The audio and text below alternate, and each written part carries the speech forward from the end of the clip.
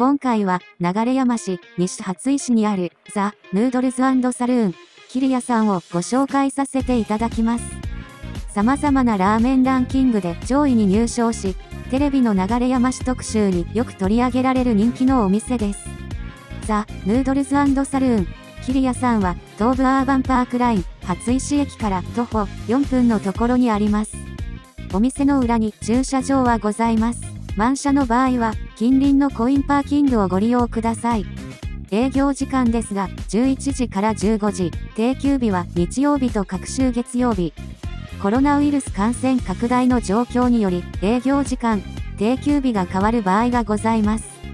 詳しくは、お店のカレンダー、公式 Twitter か、Facebook でご確認ください。今回、ザ・ヌードルズサルーン、キリヤさんで食べてきたメニューは、味玉塩そば、950円です。いかにも写真映えするような、綺麗な盛り付けが特徴的です。基本のだしは別々で炊いた鶏だし、豚だし、和だしを合わせたトリプルスープを使用しているそうで優しい味付けが特徴的です。そこに自家製のストレート麺が合わさって絶妙なバランスの美味しいラーメンとなっております。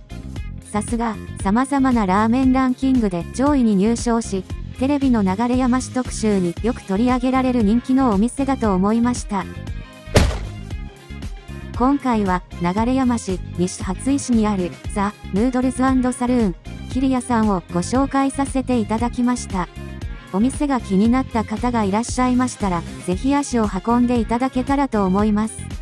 動画の内容が良ければ、高評価ボタン、チャンネル登録をよろしくお願いします。最後までご視聴いただきまして、ありがとうございました。ご視聴ありがとうございます。動画が良ければ、グッドボタン、チャンネル登録ボタンをよろしくお願いします。